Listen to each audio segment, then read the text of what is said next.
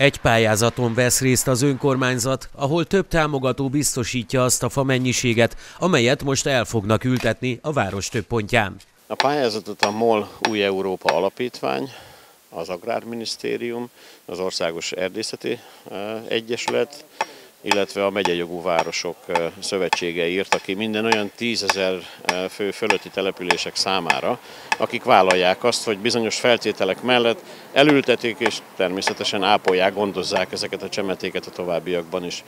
Ugye 70 darab csemetéről beszélünk, ahogy mondtam, és a város több pontján kerül elültetésre, hiszen folyamatosan figyelünk arra, hogy az előregedett fákat cseréljük azokat a fákat, amelyek balesetveszélyesek, a közlekedést gátolják, a közvilágítást gátolják, azok új, friss csemetékre legyenek cserélve, és ennek apropóján pályáztunk mi is erre a lehetőségre, így kaptunk 70 csemetét.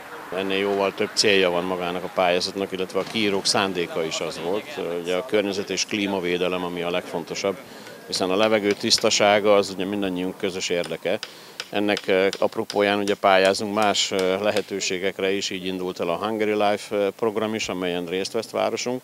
Tehát minden olyan lehetőséget, amely a növényvédelemmel, a klímavédelemmel, a környezetvédelemmel kapcsolatos, azt én azt gondolom, hogy kutya kötelességünk megtenni, nekünk is, mint önkormányzatnak, és én azt gondolom, hogy magánszemélyeknek is. Oltott gömb szivarfa természetesen maga a magassága, illetve a lombkorona szélessége lehetővé teszi, hogy könnyen kezelhetőek és nem akadályozzák sem a világítást, sem pedig a közlekedést, mondta a polgármester. A pályázatnak azonban sokkal több célja van, mint a felültetés.